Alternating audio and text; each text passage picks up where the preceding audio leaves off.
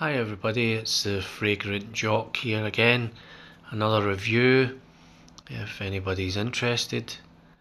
I'm sure there is one lonely person out there. anyway, all the way from sunny Glasgow. Weather's lovely. Anyway, uh, this time it's for Mancera Aoud Cafe. Um, just got it uh, delivered yesterday off and they don't sponsor me but I, I do rate them. They're a very good site. It's notino.com or notino. Um, they do some fabulous deals. I got a deal in this. Normally it retails for something like 120 pounds say 140 pounds but they were doing a deal for 70 and I really do uh, rate this. It's right up there with the the best um, niche. Um, certainly a lot better than a lot of designers.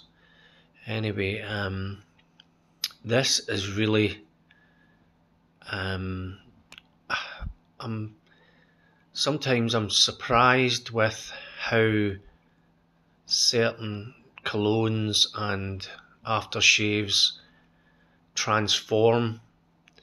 You put them on first of all, and obviously it's quite a strong smell no matter what what it is, and then it transforms maybe two or three times into different smells.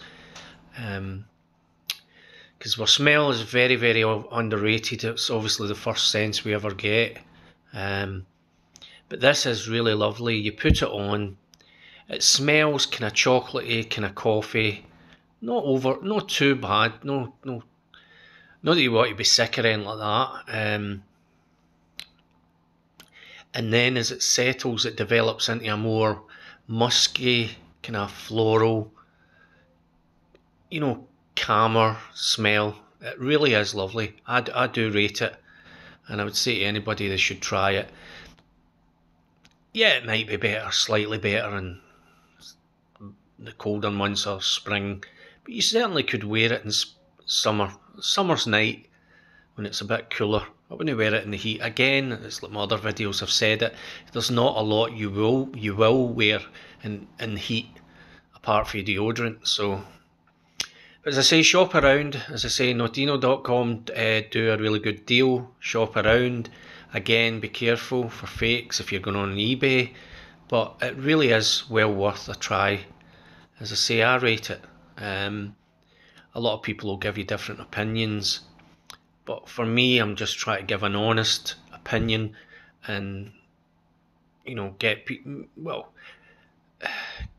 see if you know people will take it up and because you get all different opinion different opinions. A lot of people are getting sponsored by certain people and they'll get you to buy something when you get it. It's nothing like you hoped. Um, but my honest opinion is this is well worth it.